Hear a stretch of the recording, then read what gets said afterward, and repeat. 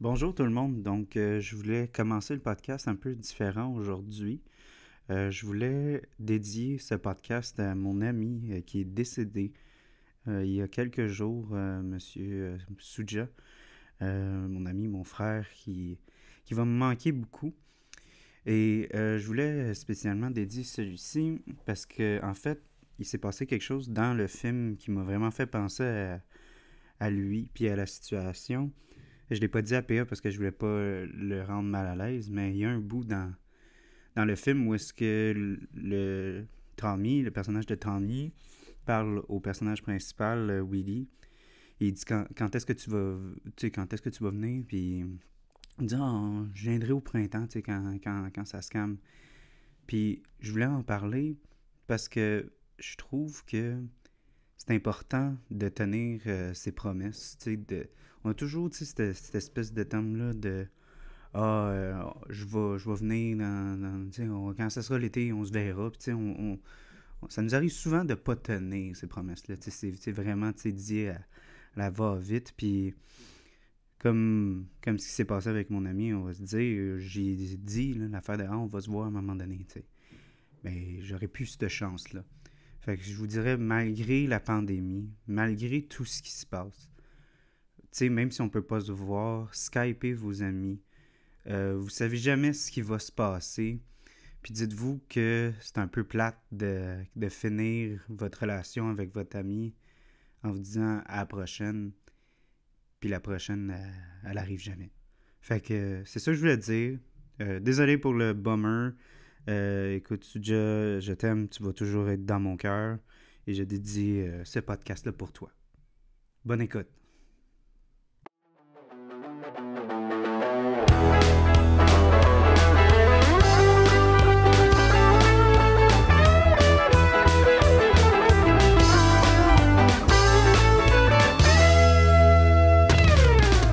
Donc, euh, bienvenue à tous, mesdames et messieurs, amis et ennemis. Nous voici ensemble de loin, notre deuxième podcast à distance. J'ai un invité extrêmement spécial aujourd'hui. C'est Monsieur P.A. Mayotte. P.A., vas-y, euh, salut. Hello, hello.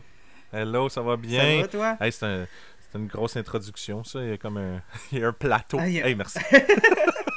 Tout le monde, il pense que j'introduise le monde comme un MC de boxe, genre, quelque chose de même. ouais, il, me fallait-tu une toune pour que je rentre? Donc, euh, on va... Euh, on va, on va parler d'un film que. Euh, ben, c'est ça, un, film que PA a choisi parce que dans la, série la série à distance, c'est plus moi qui impose les films au monde, c'est le monde qui m'impose leurs films. Fait que PA m'a imposé euh, un très bon film. Puis euh, j'aimerais ça, euh, avant même qu'on en parle, que tu t'introduises, toi, Monsieur PA, pour ceux qui. Pour les deux, trois personnes dans le monde brassicole qui te connaissent pas. ceux, ceux qui savent pas PA, il vient d'où? Mais je pense que les, les gens du milieu brassicole vont peut-être m'apprendre un peu plus parce que je vais, je vais, je vais m'introduire d'une façon un peu différente. Oh. je suis maintenant je suis maintenant représentant pour Ralbock. Euh, une compagnie que j'ai, euh, une microbrasserie que j'ai découvert il y, a, plus, de 5, plus de 5 ans maintenant parce que j'étais gérant au biérologue avant. Donc, c'est devenu des amis à la longue et euh, maintenant, je, travaille pour eux, je représente leurs produits. Mais avant tout ça, j'ai été gérant de salle de cinéma. Le cinéma a une de mes passions. Donc, je suis extrêmement content d'être, d'être là puis jaser film avec toi. Euh, c'est ça, PA. Pour moi, pour moi c'est. Tu, tu m'as dit que tu faisais un podcast un jour là, de cinéma et bière en même temps qu'on jase de films. C'est genre l'autre côté de PA qui, qui, arrive moins souvent dans le monde brassicole quand je jase avec les gens parce qu'on parle tellement de, de tout, de tout, mais euh, il y a une couple de personnes qui aiment ça, le cinéma là-dedans. Fait que ouais, peut-être ça peut les éveiller et faire comme Hey, on va venir jaser avec nous autres. Oui, oui, mais tu sais, il y a, y a, bien des références. Tu sais, des fois, tu vas avoir des bières qui vont faire comme des, des références. tu sais, mettons, moi je pense juste à l'île de Garde là, qui ont leur, ils ont leur burger. Euh, Double Royale with Cheese, des affaires ben de même. Ben oui. Là, ah, moi, je pense à Avant-Garde. Tu me dis ça, je pense à Avant-Garde puis la Mr. Brown ah, dans ben Reservoir Dogs. Ben oui. C'est dans mes films top. Puis en plus, il a fait partie de ceux que j'ai eu de la misère à dire lesquels que je choisis. Je t'en ai nommé de, comme deux, mais il fait partie de, de pas mal mon top 5. D'un Tarantino, là, c'est un de mes préférés. Ouais, ben Reservoir Dogs, on croit le couvrir bientôt. Puis ah faire une petite dégustation de réservoir. La micro-réservoir. Oh! Fait que ça va oh, être réservoir avec Reservoir Dogs. ah, j'aime ça. J'ai hâte de l'écouter. J'ai vraiment hâte de l'écouter. moi, j'ai, moi, j'ai vraiment hâte de goûter la, bière que tu as amenée, ben, que tu as choisie, en fait. Donc, euh, on, voulait, euh, on voulait des bières qui vont représenter un peu, parce que moi, je suis bien quétaine comme ça. J'aime ça, les bières qui fit avec les films qu'on regarde. Puis, moi, j'ai dit, à, j'ai dit à PA, j'ai dit, PA, il y a tellement de Budweiser dans ce film-là. Le classement produit est l'enfer. Des fois, je voulais te le montrer à un moment donné. Tu sais, il, il, est au bar à un moment donné, vers la fin euh, du film. Et je te jure, sa bouteille, l'étiquette est pas en vue vers la caméra. Puis il tourne pour que le, Budweiser ah soit. Ouais? j'ai dit, on boit-tu une Bud? Puis il a dit non, non, non, non. Non, non, on boit pas une Bud. Je... Non, j'irai pas acheter une Bud pour ça. Mais, mais en fait, euh, de tous les films que tu m'as donné, tu sais, j'aimais Chasing Amy, j'aimais plein de films, puis j'ai choisi le film Beautiful Girls. Ce film-là, il est très. Il y a de tout là-dedans. Mais ah là, tu m'as fait remarquer que oui, il faut faire, je le réécoute, puis je regarde tous les placements de produits de Bud. C'est. J'avais jamais vu ça. C'est ouais, c'est comme un, un placement. je ah, pense qu'il y avait dans le contrat, ils ont dit faut voir le Sing Bud une fois aux 10-15 minutes. Parce que soit qu'ils en boivent, soit qu'il y, a un, y a un effigie lumineux dans un endroit où est-ce qu'ils vont, dans un bar, ou de de même. Mais non, il y a, y a, du Budweiser à côté dans ce film-là. Ben, ça peut fitter. Ben, sûrement qu'ils ont, ont, dû avoir un gros budget qui a rapport avec, mais avec l'histoire du film, je pense que ça pourrait. Ah, oui, Ça peut facilement fitter avec les. les sais, la, la bod, je veux dire, tu commences toujours à boire de la bière. Tu sais, à cette heure, à cette heure, on est chanceux, on peut prendre de la bière des microbrasseries. Je dis à cette heure, on, mais pas on, parce que j'ai fait mon éducation avant ça, mais je veux dire, quand tu fais ton éducation d'alcool, une couple d'années, euh, imagine surtout aux États-Unis, ben là, eux autres, de la bod, c'est la bière que tu as partout. Tu commences à boire ça avant de vouloir découvrir d'autres meilleur goût, mhm, plus mhm. avancé, mhm. où ton palais se développe. Fait que c'est sûr que la... Ben, ouais, la botte. Mais non, je voulais pas une botte, je voulais. Euh, je voulais en plus de parler un peu de Ralbock. C'est ça que t'as amené? C'est celle de Ouais, ouais, c'est ça. C'est la, c'est la Pilsner Check. La Pilsner Check pour euh, faire un petit clin d'œil à cette bud de, de Beautiful Girls. Mais c'est la bière, le temps d'une pinte. C'est une collabo avec le temps d'une pinte parce que, ben, bien vite dit, euh, sans rentrer trop dans les détails, euh, le, procédé pour faire une, une lager, euh, surtout une Pilsner Check, c'est qu'il y a de la décoction. Puis il n'y a pas toutes les brasseries au Québec qui ont un système pour faire de la décoction. c'est comme un double bouillage de grains, vite dit. Là. Mhm. Puis euh, ça, ça, va rendre le grain plus présent, ça va aller jouer sur, sur plein d'autres saveurs. Mais le temps d'une pinte ont un système comme ça, Ralbock a un système comme ça. Euh, on s'entend même Vrouden en a un, mais bref, les gars, quand ils ont fait Hey, le temps d'une pinte, il y a ça. On va faire une collabo. On va faire une Pilsner check, puis on va se gâter. On, on la laisse euh, fermenter longtemps, puis on se gâte. Puis ça a donné, pour moi, là, je pense, une des meilleures bières qu'il y a eu cet été. C'est débile. moi, j'ai pensé à. J'ai. Oui. Ah ouais. Euh, ah côte à côte, on se fait ça. Ah, c'est des beaux sons, ça. Puis moi, je le fais devant le micro, le monde capote bien raide. Du ASMR. Ils, capotent, ils, capotent ils capotent ou ils ont envie de pipi pendant deux secondes. Ouais, exact. Mais non, c'est... Fait on devrait considérer ça, c'est comme une version fancy de ce que les gars ils boivent à journée longue dans le film. Exact.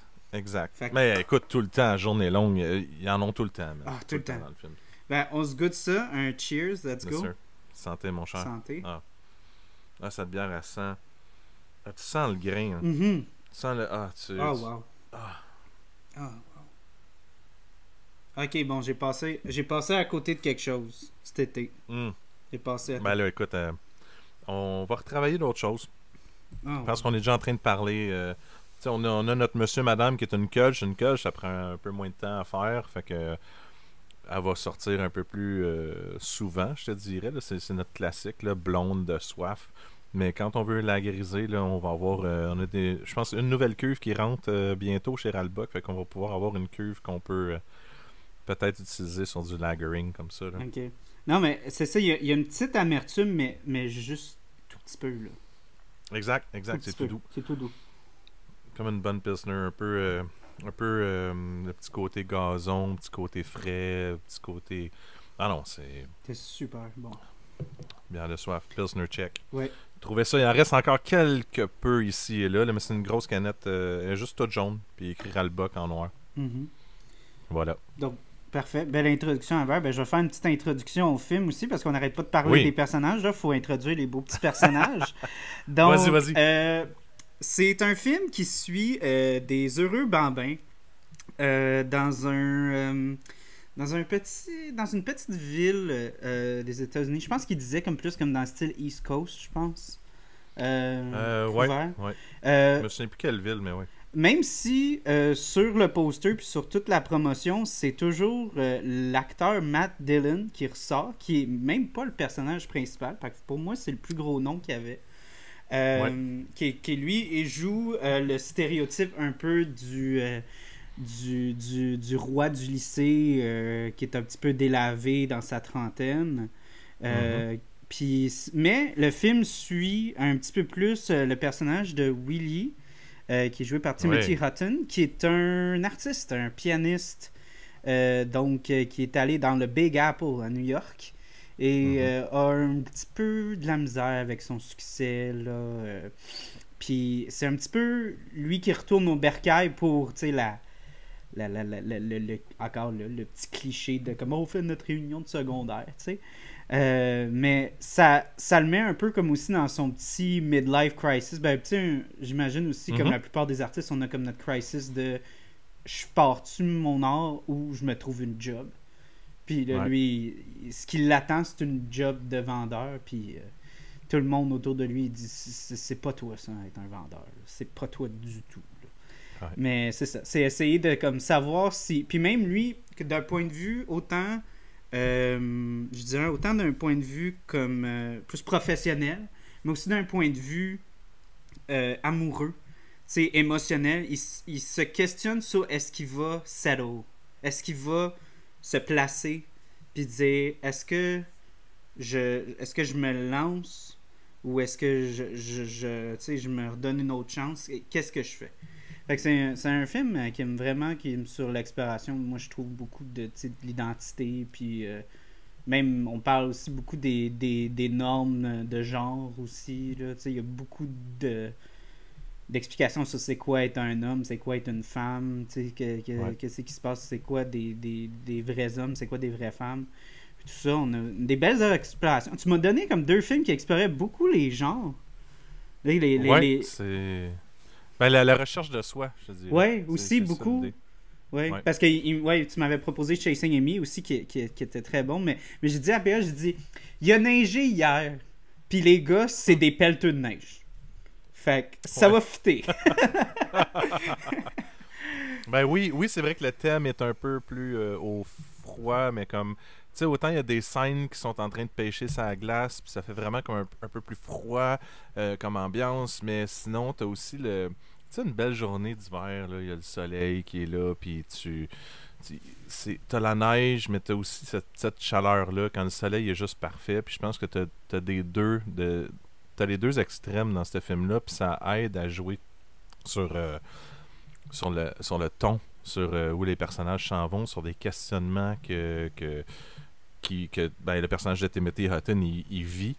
Moi, c'est un des personnages que, que je sais pas pourquoi euh, pourquoi ce film-là, j'ai hey j'ai-tu je me suis sûrement mon inconscient s'est peut-être attaché à ce personnage-là parce que on se remet souvent en question je pense que c'est de là que, que part ce film-là. Puis euh, toutes les quêtes qui sont un peu. Euh, c'est un peu plus stéréotypé, je te dirais. Là, je pense que ce film-là est plus. Euh, il est plus.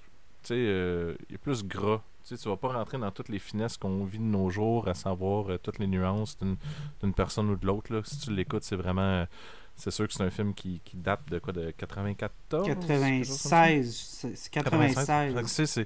il, y a, quand même des. des il rentre pas dans. Je pense pas qu'il rentre dans les préjugés, mais il, explique beaucoup de choses. Il veut mettre à terre bien des, des idées, là, mais moi, je, concepts. Moi, je te dirais, comme. Euh, beaucoup que dans, dans mes cours de, de, cinéma, on disait souvent, tu sais, aujourd'hui, maintenant, il y a comme une espèce de, de, de retour à blâmer le cliché comme étant quelque chose de horrible, tu sais.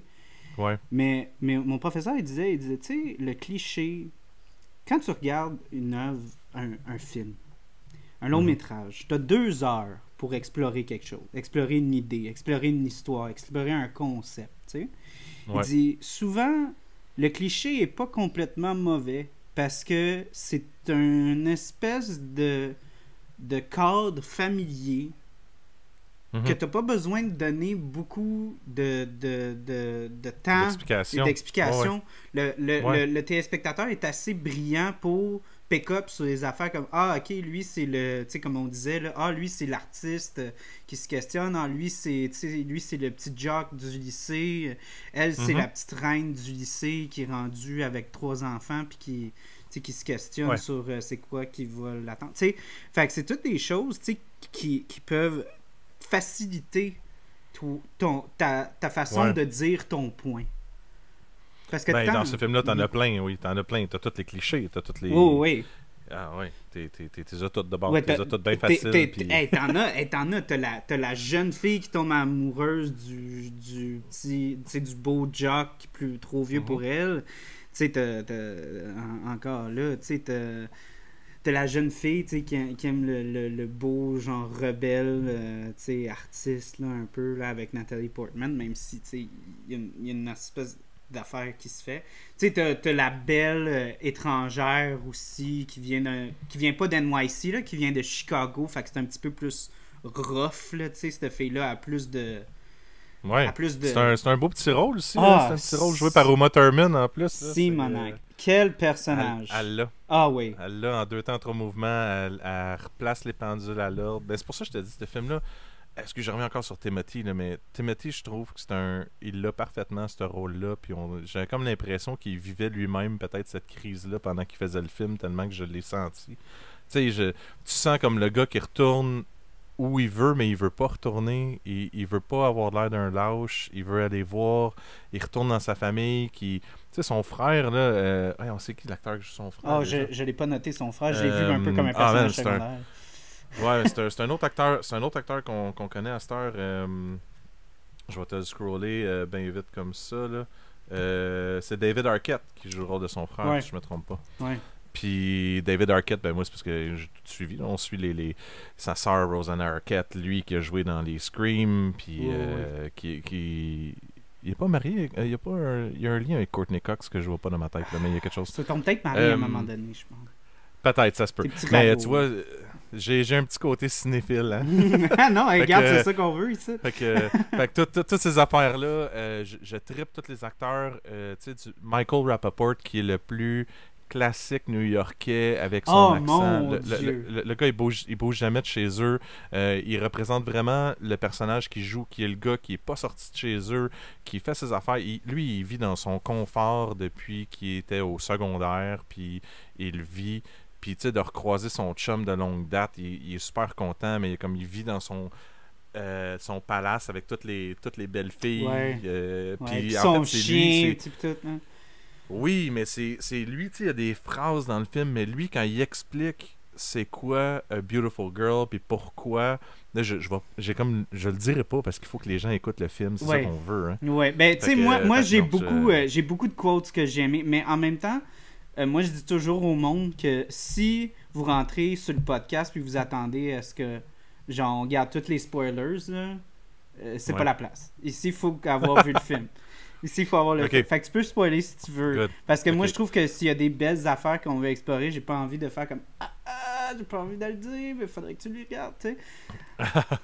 ben, c'est parce qu'il fait, le, il fait le parallèle en disant, tu sais, il y, a des gens qui sont euh, un peu. Euh, euh, je vais dire, je vais utiliser le mot obscène. sais mais, mettons la, la, pornographie et autres qui veulent aller plus loin puis qui tripent sur des belles filles, la beauté de la femme. Puis parallèle au fait qu'il y en a d'autres dans leurs amis qui, eux, vivent une relation, une belle relation, sont mariés avec une fille. Nan, Puis il dit, tu sais, il dit que tu sois en amour avec quelqu'un ou que tu vois la beauté de la femme, puis que tu, tu aimes cette beauté-là, les deux te font rêver, les deux t'amènent dans quelque part. Fait qu'on dirait qu'il trouve une façon de, de démontrer que tu peux trouver plusieurs femmes belles sans être comme tu sais que c'est une relation que lui vivait avec ses filles en tout cas c'est un peu weird mais mais j'aime la façon dont il l'apporte puis après ça t'as comme le clash avec Rosie O'Donnell qui a comme un petit rôle puis qu'elle, à l'inverse, elle comme parle aux deux gars, m'emmener dans une boutique. Ouais. Puis elle, leur montre genre le, le, penthouse, le Playboy, en tout cas le magazine, puis elle fait comme ça, vous trouvez ça beau? Hein? C'est ça que vous trouvez ça beau? Mm-hmm. Comme vous pensez que c'est ça la réalité? Comme une fille avec des gros seins qui fait ci, qui fait ça? Non, non, c'est pas ça la réalité. La réalité, puis, puis elle, elle, a un monologue de quoi je pense qu'il dure cinq minutes. Ouais, ouais, ouais. C'est elle fait, elle fait, le tour du magasin, elle pogne, le, elle pogne le, car, euh, le, le, le, panier, elle le donne au gars, elle dit Moi j'ai mon speech à donner, je tiens pas mhm. mon, mon, mon, Je tiens pas mon. mon voyons. mon, mon, panier. Mon panier je tiens pas mon panier, j'ai pas fini ce que j'ai à dire, je te pitch le magazine sur le chest. C'est eux qui payent, c'est pas moi qui paye. tu sais exact, il y a tout. Ah ouais. Mais. Tu sais, puis elle close en s'en allant, en faisant comme Ciao boys, comme get, get over yourself. Merci, bonjour. Ouais. Ouais. mais c'est plein de moments comme ça. Puis, tu sais, c'est ça, tu sais, le personnage de Timothy Hutton, il, il, il, se promène partout à travers ça, à travers tous ces clichés-là. Puis, je pense que c'est important de le représenter. C'est peut-être pour ça aussi qu'il y y a les clichés faciles pour que lui puisse naviguer. En fait, moi, je moi, c'est lui le personnage principal. Là. Les autres, parce que Matt Dillon a peut-être été payé plus cher ou peut-être qu'il il pense que ça attire plus de monde en le mettant son agent, il a, il a ben, Son agent, il a bien négocié le contrat. Ben, sûrement. Puis tu mets, tu mets Nathalie Portman à côté. Mais ça m'a fait penser. C'est drôle, tantôt, tu as parlé de Nathalie Portman, de son personnage, comme étant celle qui tombe en amour avec son voisin, puis toute la quête. En fait, moi, je l'ai toujours vu comme étant. Elle est juste là, puis elle fait sa vie. Puis c'est lui qui revient puis qui rêvasse d'un amour en se disant tu sais l'innocence de la vie puis un peu l'idée des, rêves puis que n'y a pas de frontières parce qu'à un âge tu sais étant très jeune à un moment donné tu, vois que la vie est toute devant toi puis tu n'as pas justement ces murs là ces, ces fondations que tu te mets alentour de toi pour la vie où ça s'en va. Puis lui étant un artiste en fait il devait rêver dans sa vie à aller plus loin jusqu'à temps que là il se pogne bang, il y avait des murs sur qu'est-ce qu'il va faire dans sa vie. Puis elle, elle, permet de voir à travers ces murs-là, puis à travers ce rêve-là. Fait que je crois que c'est lui, dans ma tête, c'est lui qui s'amourache de ce rêve-là à travers elle qui permet d'être à l'aise de son rêve. C'est ça. Je te dirais, ouais, que il y a une espèce de romantisation. Ben, c'est clair que dans, dans, le film, il y a une romantisation de l'innocence, puis tu sais, du de, ben, c'est tout du monde dans leur trentaine qui, qui soit sont, sont, ont des obligations ou soit ils sont sur le bord d'en avoir. Fait que vraiment, tu sais, un espèce. Puis je sens que Nathalie Portman, dans, dans le, le, le, film, j'aime bien comment tu as dit comment ça, ça c'est comme une projection de main. J'ai l'impression qu'elle représente quelqu'un qui est. On dirait que c'est comme s'il parlerait à lui-même plus jeune. Tu sais, comme euh, il exprime comme les choses qu'il voudrait se dire à cet mhm. âge-là. Il, veut. Il, il veut essayer de briser son innocence. il essaie de dire Ah, tu fonde-toi pas d'illusions. la vie, ça fait ça. Puis, mais il se voit en même temps étant comme super rêveur, comme étant l'artiste qu'il est. Puis il revoit dans sa perspective à elle ces choses-là. Fait que ça le moi, peut-être je pense que, pas que ça le frustre, mais peut-être que ça, ça dit comme merde, on est-tu comme pris à toujours faire le truc cyclique La même affaire, ouais. Bien, tout en cherchant les réponses que lui-même se pose, parce qu'il mhm. il se met il se met une limite, tu sais, fait que si elle, elle a une réponse qui convient, ben à ce moment-là, sais, en fait, c'est ça, c'est que tout ça se passe dans sa tête, puis il croise l'autre personnage de Uma Thurman, qui, elle, elle, elle a vraiment comme un personnage, elle, elle est très secondaire, mais elle replace les pendules à l'ordre de tout le monde, parce que elle, c'est comme, c'est la Beautiful Girls qui passe, puis qui, qui, qui, touche un peu avec des doigts de fée à chaque personnage pour leur remettre un peu la réalité en pleine face. Ouais, j'aimais comme moi j'aimais l'image de comme l'espèce d'ange gardien un peu qui est comme pas atteignable, mais. Puis tu sais que les gens sont comme. Euh, comme à, complètement estomaqués par sa beauté, sachant qu'elle n'est pas atteinte. Tu sais, c'est dit direct en partant. As-tu un chum? Il dit une fille de même, là, c'est elle née avec un chum. Tu sais, veux dire... Exact. c'est ça que le, barman, il dit, puis c'est, que... Euh, ils se font remettre à leur place. Mais c'est ça, c'est comme une espèce de... Puis aussi, comme pour ça que je disais un peu l'ange gardien, une espèce de personnage qui est vraiment comme au-dessus de, de tout. Tu sais, elle, voit toujours comme la... la elle, est comme vraiment très, très, très consciente de tout ce qui se passe autour d'elle, tu sais. Une, une, fille, tu sais, avec un, je dirais peut-être euh, dans, dans ce film-là, une fille avec un peu moins d'assurance aurait pas mm-hmm. comme commencé à faire ce qu'elle ce qu'elle faisait avec eux, tu sais, comme les laisser se faire courtiser ou les laisser comme mm-hmm. jouer ou la laisser se faire éviter, tu sais, peut-être que certaines femmes auraient eu peur. Mais elle, elle sait qu'elle peut sortir elle peut owner la place, elle peut dire moi je sors, je, pars, tu sais. Exact, exact. C'est. Puis. C'est beau à voir. Exact, c'est tellement bien fait, puis il y a tellement de belles scènes justement comme la comme la pêche à la glace ou comme quand elle arrive dans le bar puis que euh, là t'as comme le euh, Michael Rappaport qui lui fait juste comme ah ouais, je ah ouais, ben moi aussi je connais la ville d'où tu viens, il fait comme ah ouais, tu connais la ville d'où je viens, il dit ouais, je connais genre le stade de football comme mm-hmm mais tu connais ben pas la ville. mais tu... Puis, tu sais, ce film-là, c'est des. Mhm. Vas-y, vas-y, ben, vas-y. C'est de l'écriture. C'est de l'écriture. Incroyable. Mhm. Ben oui, c'est. En fait, ce film-là, là, je l'écoutais beaucoup quand euh, j'ai travaillé dans un. J'étais gérant d'un club vidéo, puis euh, on mettait souvent des films, mais sur mes chiffres, je mettais tout le temps ce film-là. Fait qu'à la longue, c'est un film qui est devenu pour moi comme une, comme une chanson. Mhm. je, réécoute le trailer, je réécoute le film, puis j'ai les phrases qui viennent toutes un après l'autre. C'est le genre de film que tu pourrais pas écouter en ma compagnie parce que je parlerais tout le long, mais en fait, tout ce que je ferais, c'est citer toutes les lignes. ah non, mais c'est un. Tu sais, parce que je l'ai vu la première fois, puis j'ai fait comme. Il y avait une couple de fois où est-ce que j'étais comme. Je, je, faisais back, puis j'étais comme. Attends, je veux re-entendre tout ce qui a été dit. Tu sais, comme j'ai pris en note la. Voyons, la, justement, le. C'est quoi déjà, excuse, euh, euh, Rappaport. Quand, quand il va faire sa demande en mariage, il rentre dans la scène puis il veut péter la gueule à l'amant de sa, son ex-blonde. Puis son but dans la scène, c'est je vais péter la gueule à un gars, puis je vais demander mon ex-blonde en mariage.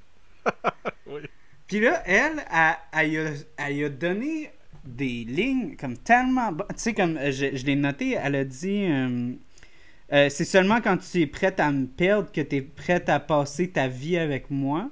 Puis il dit, mhm.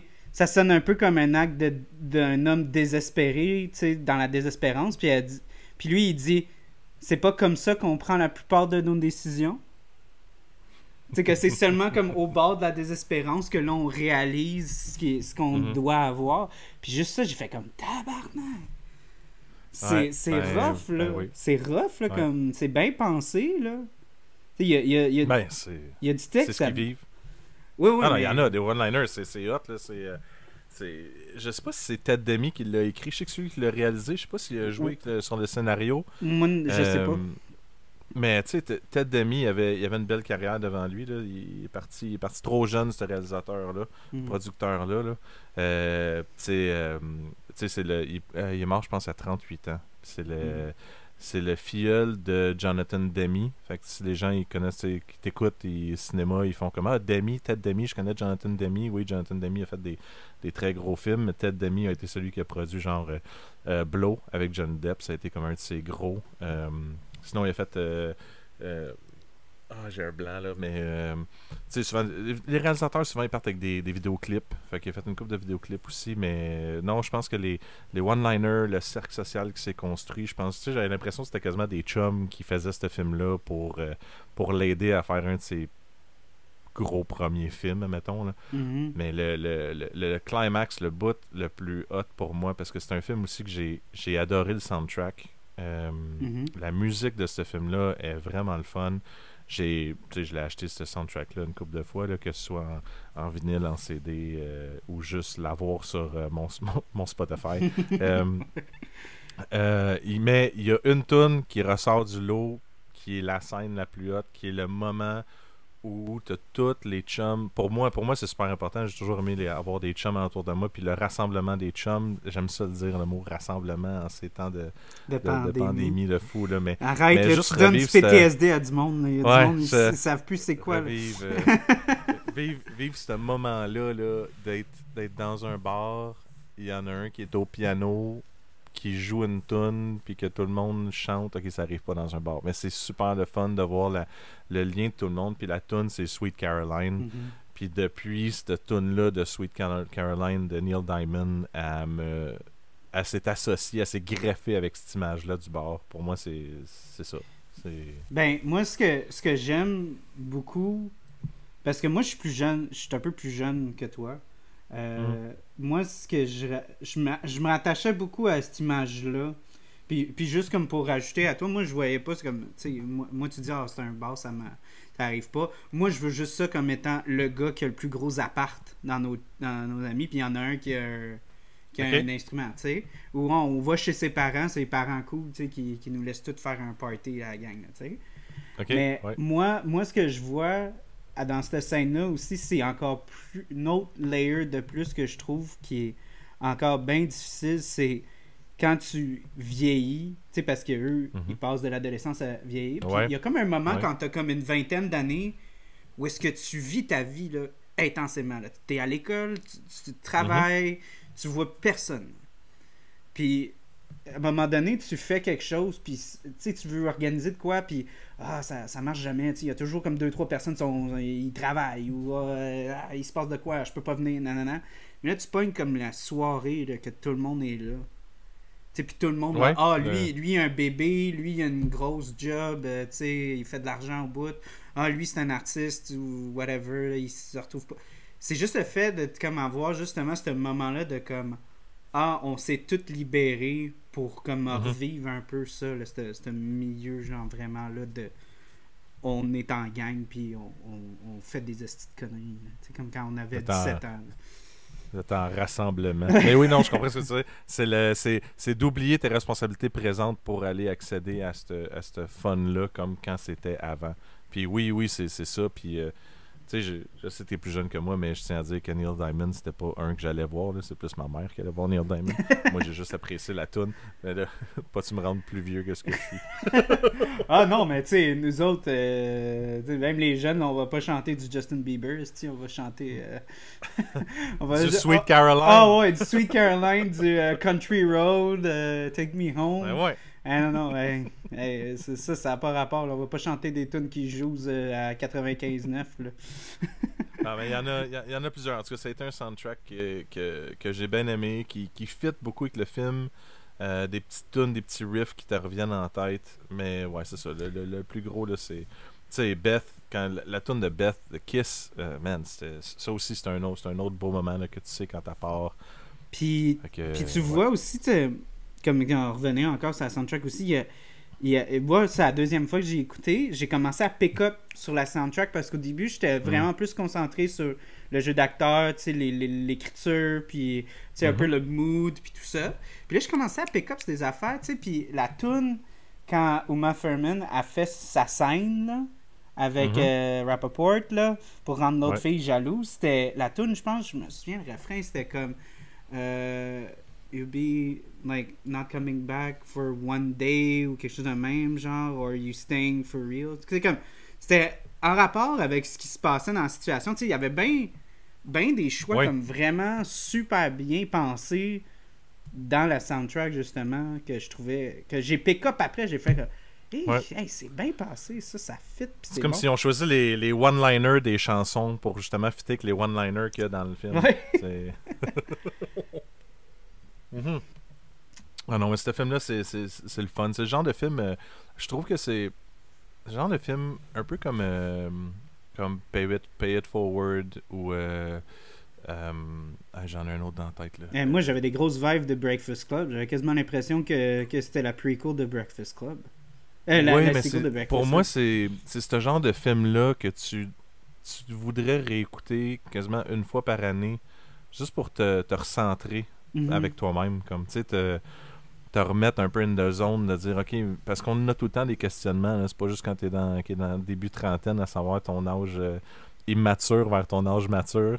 Euh, tu sais, je pense qu'on a tout le temps des questionnements. Puis je pense que c'était des films de même, des classiques qui sont capables de juste être là pour involontairement te faire réfléchir sur certains trucs de la vie. Puis ouais, ça, a toujours été un des films que j'ai aimé. Fait que c'est voilà, c'est pour ça que pour ça je t'ai pitché ça, ce film-là. Non, euh, j'aime ça, j'aime ça. Je suis content, maudit, d'avoir découvert ça. Puis c'est mm. ça que j'ai. ça que j'aimerais, comme peut-être je vais pitcher ça à there, c'est euh, mon, euh, mon hot take là, de Charles. Je pense que honnêtement, les trailers avant 2010, ils rendent les films moins excitants qu'ils sont. Puis les films après 2010, ils ont l'air plus excitants qu'ils sont. Quand tu regardes des films des ben années 2015, d'où hey, ça a l'air insane, tu vas voir le film, c'est que puis là, des fois, je regarde des, justement des vieilles bandes annonces de films qui datent de comme 2005. Tu sais, tu regardes la, bande annonce de Star Wars épisode 3, ça a l'air plate en maudit comme film. tu te dis, aïe, aïe. Non, non, c'est. C'est sûr, tu regardes les bandes, tu sais, les bandes annonces, ils vont avec les gens, ils vont avec euh, même les, les films qu'on regarde aujourd'hui, que tu, sais, tu regardes un film de, tu regardes un film de Hitchcock, Hitchcock aurait pas pu sortir un film aujourd'hui, puis ça aurait pas été le, le, le, ok, il a, j'ai mes nuances, je le sais, puis je vais peut-être me faire slasher pour ce que je dis, mais tu sais, Hitchcock sort un film aujourd'hui, puis tu sais, comme Birds, mais je pense que Birds, c'est un classique, tu peux l'écouter n'importe quand, mais euh, je crois qu'il y aurait plus de cutscenes, il y aurait plus de scènes rapprochées avec les oiseaux, il y aurait plus de. Il y a beaucoup de séquences qui se joueraient plus rapidement parce que notre œil est habitué à des séquences rapides, mhm. contrairement à avant où si tu mettais des séquences rapides, ça faisait peur aux gens. Les, sais, juste euh, d'aller plus loin au début, là, tu, tu l'as sûrement entendu dans tes cours de cinéma, là, mais comme le premier film avec euh, la locomotive qui s'en venait vers l'écran, que là, c'était une perception différente, puis les gens sont sortis du cinéma parce qu'ils ils, capotaient bien trop. Là, imagine à cette heure, c'est pour ça que les, ça que les bandes annonces, ils n'ont pas le choix d'être plus rapides, puis ils te montrent plein d'affaires du film. Avant, il y avait juste besoin de te montrer les acteurs qu'il y avait dedans, parce que les gens allaient voir les films pour les acteurs. Mais tu vois, tu sais, j'ai vu la bande-annonce de ce film-là. Puis j'ai tellement. Tu sais, il y avait. Jugé. Non, non, non, non, non, non, non. c'est ça que je veux dire. Ce que je veux dire, c'est que j'ai tellement rien vu. Il y avait rien dans ce trailer. Il y avait rien. Il y avait absolument. Puis c'est le fun. Parce que j'ai tout découvert en regardant le film. Tu sais, ça aurait été recoté. Tu sais, il aurait fait le montage aujourd'hui. On aurait eu les lignes super puissantes qui auraient été dites là, dans, dans des mhm. situations comme genre. C'est seulement dans. Tu sais, la, la, ligne que j'ai dit, c'est seulement quand tu es sur le bord de me perdre que tu décides de, de, de, comme faire des. Tu sais, ça, ça, ça, aurait tout été pitché dans le trailer si ça aurait été une comédie romantique qui sort en 2016. Exact. T'aurais tout eu, t'aurais tout eu le monde, t'aurais tout eu les one-liners. Là, en fait, si tu as écouté le film puis tu retournes voir la bande-annonce, la bande-annonce, tu vas trouver que c'est des segments du film qui te font une espèce de sommaire du film, mais vu que tu l'as vu, tu comprends tout l'ordre. C'est comme, euh, c'est comme avoir un puzzle pour enfants à six morceaux, mais qui t'émettent juste dans le désordre. Ils te font juste te mhm. mettre comme un petit scoop de ce puzzle-là. Puis, puis en même temps, voilà. ouais. Puis en même temps aussi, tu sais, il y a, aussi le fait que c'est, c'est juste les clichés qui sont montrés dans la bande-annonce. Fait que tu sais, t'es genre, ah ok, je sais que c'est ce cliché-là qui va revenir. Puis après ça, t'arrives dans le film, puis t'es comme, ah ok, on va plus loin que ça. On va explorer mm-hmm. d'autres affaires, tu sais, comme on va vraiment comme donner des couches au, au, au gros bully euh, assis à ça. Tu sais, tu te dis à n'importe qui, hey, il y a un gars qui est en train de genre coucher avec une femme mariée, puis il couche aussi avec une jeune de comme 20 ans, 27 ans. Puis, mm-hmm. euh, tu sais, euh, c'est un bon gars. Le monde te regarderait, c'est pas vraiment un bon gars. Je vois pas vraiment comme de, de, de, belles qualités à ce gars-là. Je vois pas une belle complexité là-dedans. Je vois juste un gros trou de cul. exact. c'est l'acteur principal. Non, ouais. Ah, ben, tu sais, même affaire, elle dit Ah, ouais, c'est l'histoire d'un pianiste qui creep sur une fille de 13 ans, genre. Ça se dit pas non plus. Hein? elle dit Non, non, mais il est vraiment bon, le film. Euh, T'es sûr que tu peux le regarder? Mais, mais, je, mais je, suis content que tu le vois aussi, tu l'as vu d'un autre œil, parce que souvent, je, je, le dis aux gens, je dis un, un des films que j'aime, puis que tu devrais écouter dans ta vie, c'est Beautiful Girls. Premièrement, le film s'appelle Beautiful Girls on s'entend-tu que ça annonce pas. Tu sais, en fait, ça annonce quasiment un porno, hein, ce film-là. Ah, ouais. Fait que là, t'es comme Beautiful Girls pour de vrai. Genre, ça, ça me tente? Ça sonne comme l'affaire la plus plate ever. Ouais, puis là, t'es comme, ah, ok, je vais l'écouter. Puis tu sais, comme, ah, tu peux-tu me résumer le film? Ah, ben, c'est un gars qui retourne dans sa ville natale, tu sais, pour une réunion scolaire. Puis euh, il, se met à un peu fantasmer sa petite, euh, petite jeune d'à côté. Puis, euh, ben, il vit ça avec ses chums, là, puis c'est cool. il y a comme une remise en question. Mhm. ok, ben je veux encore moins le voir, le film. C'est un pédophile, c'est weird. Qu'est-ce qui se passe là-dedans? Pourquoi tu me dis que c'est ton film préféré? T'es-tu en train de m'annoncer quelque chose, PA? Là? Je comprends pas. Qu'est-ce qui va pas bien dans ta tête? Mais c'est justement, c'est de voir le deuxième degré de tous ces ces clichés-là, puis d'essayer de, de, voir plus loin. Comme, tu sais, je suis content que tu aies aimé la, musique, euh, je suis content que tu aies aimé les one-liners. Je trouve que c'est un film qui est capable d'aller te chercher justement par cette mise en contexte un peu weird du film. C'est. Euh, ben ouais, c'est ça. Ben, tu vois, moi, je suis, quelqu'un qui est assez positif. Ben, tu sais, ça, ça facile à dire. Mais je donne beaucoup de bénéfices du. Ah, tu veux ouvrir la deuxième, toi? Je suis rendu là. Je sais pas si je peux. Euh, hmm. Je peux me le permettre, là, mais j'avais soif pendant qu'on parlait du film. Ben, vas-y, attends, je vais juste aller chercher la mienne. Attends. Ok, ben, pas de trouble. J'arrive. Ben, je vais. Ouais. J'arrive, j'arrive. Arrive, ouais. J'arrive. Il s'en va chercher la bière pendant que moi je me coule la mienne. Et puis, euh, ben, j'espère que vous avez hâte d'écouter le film. Moi, je, parle au monde pendant que t'es pas là, puis je leur souhaite que j'espère qu'ils ont hâte d'écouter le film. Ou qu'ils, ah, tu disais qu'ils peut-être qu'ils vont l'avoir écouté. Il faut qu'ils J'espère qu'ils l'ont écouté. Il faut? Oui. Le, le, le, pianiste, il meurt à la fin. Ah, ok. Fait que là, tout le monde, le... c'est ça. Ouais, c'est ça. C'est chien, ça, non? c'est un dinosaure. C'est un dinosaure qui le bat. exact. Euh, Quel twist incroyable. L'autre, l'autre bière qui, euh, qui est là, c'est euh, la, la, Coup de Foudre des Grands Bois, qui est leur... En fait, Coup de Foudre, c'est une série de bières qu'ils ont faites. C'est des bières qui sont lagerées dans leur foudre. Donc, ils passent un bon bout de temps dans leur foudre, qui ça va chercher un petit côté boisé. en tout cas, des très très très bons goûts qui en sortent de là. Ils ont fait une belle série, ils ont fait euh, la, la Svetli Vichepny, puis là, celle qu'on a les deux trouvées en même temps pour pouvoir la partager, c'est la Polotte Ma Vie, mm. qui est euh, une version lager, mais pas. C'est comme s'il avait mis la Bud euh, mais vraiment longtemps au soleil. Non, non. mais j'allais justement. brune. j'allais, j'allais, j'allais justement préciser parce que c'est pas tous des gros, gros, gros amateurs de bière qui écoutent le podcast. Un, un, un baril de food, c'est un baril euh, en fait, euh, de chaîne. En fait, si, tu veux préciser euh, un, petit peu plus de détails sur les barils de foudre, en fait. Ben, il est, énorme, en fait. Là. souvent, les gens, ils étudient un baril, puis ils ont, ils ont soit l'impression que c'est le petit truc qu'on voit ces comptoirs, des fois, qui versent la bière, de tout ça. Non, non, non. non. Ben, ça, c'est un, un, un, mini baril. C'est un, un, mini... Mais en fait, non, un baril, c'est que c'est un peu plus gros. Euh, c'est du, euh, là, j'espère que je ne me pas tromper, du 500 litres environ. C'est un autobus. Euh, un autobus. Mais, mais celui de foudre est plus gros. Mhm. Ouais, c'est vraiment gros. C'est un, un mini-autobus. Mais même la moitié d'un mini-autobus. C'est juste qu'il est fait de façon ovale. Il est super. Ouais, il est vraiment haut. Tu sais, c'est super haut comparé à comme d'autres ouais, cubes des affaires de même. Toujours très beau. Vous, de, vous regarderez Food comme, comment c'est. Mais, euh, mais en fait, euh, euh, là, le, style Polotte de ma vie, c'est que c'est une bière qui se voulait un peu plus dans les temps. bien vite, là, une petite histoire. C'est comme la, la, bière de Noël des Pilsner. Hmm. C'est une bière qui, qui, va aller un peu plus à céréales, un peu plus maltée. Euh, tu sais, oui, si tu fais des recherches, c'est un peu ça qu'ils disent aussi. C'est que dans le temps, ils, ils, voulaient, ils voulaient leur, euh, leur verser. Mais c'est. Fait que si tu t'averses en t'attendant une n'aie pas peur. C'est normal qu'elle soit un peu brune. Mm. C'est Surtout après avoir pris la Pilsner Check. Ouais, le malté, mm. tu sais que tu vas venir me chercher avec ça.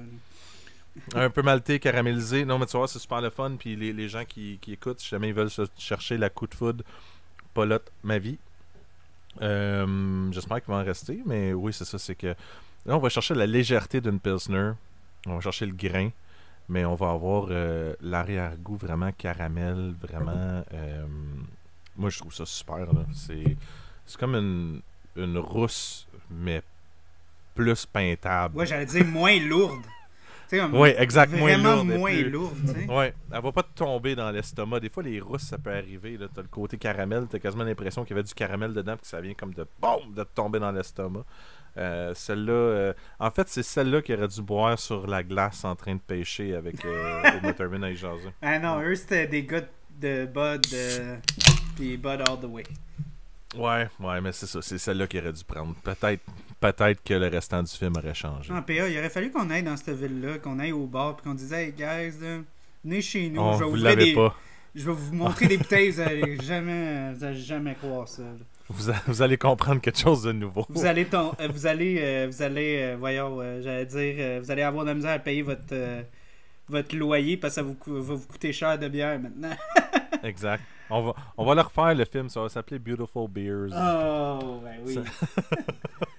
C'est juste comme essayer d'explorer l'identité de chaque bière, tu sais. Euh. Ouais, à travers toutes les remises en question mentales de chaque personne, mm-hmm. de chaque existence qu'il va avoir dans le film. Tu sais, chaque, personne, euh, chaque personne a comme sa bière, tu sais, puis il explore son identité à travers la bière, tu sais. puis tant, qu'il goûte pas, il est pas accompli. Tu sais. tant qu'il découvre pas celle-là, il est pas accompli. Je pense que c'est plus un jeu vidéo qu'on devrait lancer avec ça. Ah, ça pourrait être pas ça Donc, ok, je vais essayer ça. Moi, j'ai jamais goûté. Parce que, pour de vrai, moi, au début, les coups de foot, je savais même pas que c'était une série. Comme, moi, je savais même pas qu'il avait, avait comme, euh, annoncé ça comme étant une série. Parce que, veux, veux pas, c'est, sont tous vendus comme étant une lager de foudre. Exact. Mais ils ont fait des, des LS, des calarbires, des. Ouais, ça, ils ont fait plein. Fait, que oui, tu t'attends toujours à la même, oui. Ben, tu t'assumes que ça va juste être la lager que tu vas penser, tu sais, comme la lager vraiment mhm. traditionnelle. Mais, ils ont commencé à, changer les, petits triangles. Parce que, tu sais, comme dans. Euh, tu sais, l'image de la canette, c'est le rétro coup de foudre. Mais as, comme l'émission de télé qui avait coup de foudre. Mais les, où il est écrit le nom, Paulette Ma Vie, Paulette Ma Vie euh, mhm. le triangle, il change de couleur. Ah, je savais même pas. comme là, on a un triangle vert. Mais comme la, la Svetli Vishepni, il, est orange. Je vais essayer de te le montrer, même si les gens peuvent pas le voir. Là, mais mais tu sais, ah, ils changent de couleur tout le temps, tout le temps. C'est très que, Mais tu sais, ils, apprennent. Je pense que la première de tout, elle avait pas cette, cette annonce-là. Tu sais, c'était. Je me souviens pas, je pense que c'était la LS qui ont commencé avec. Puis après oui, ils ont juste fait la gueule de puis... foot, puis c'était tout. Genre.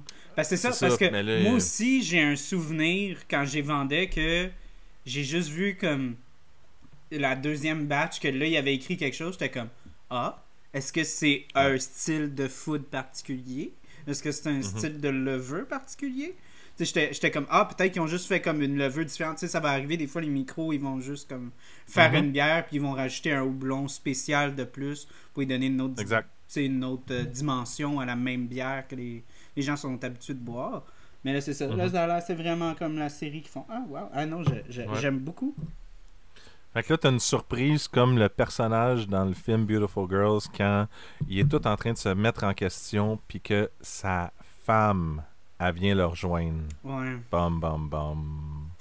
Hein? Non, c'est pas pire, ça. Ouais. moi, moi, je, moi je, tu vois, moi, j'ai bien embarqué. Plus, moi, j'ai plus embarqué. Je pense que c'est juste parce que j'étais un artiste. Mais, tu sais, comme l'aspect de comme euh, se questionner tout ça. Euh, ben, tu sais, moi, dans le confinement, je suis en train de vivre ça à tous les jours. Là. ouais, mais, il y a beaucoup de monde qui le font. Ouais. Mais euh, c'est plus. C'est plus la notion de, que, que j'aime explorer, c'est par rapport à l'amour. Parce que, surtout maintenant, tu sais, dans, on va se le dire, dans, dans, le monde de la pandémie, l'amour s'est rendu bien compliqué.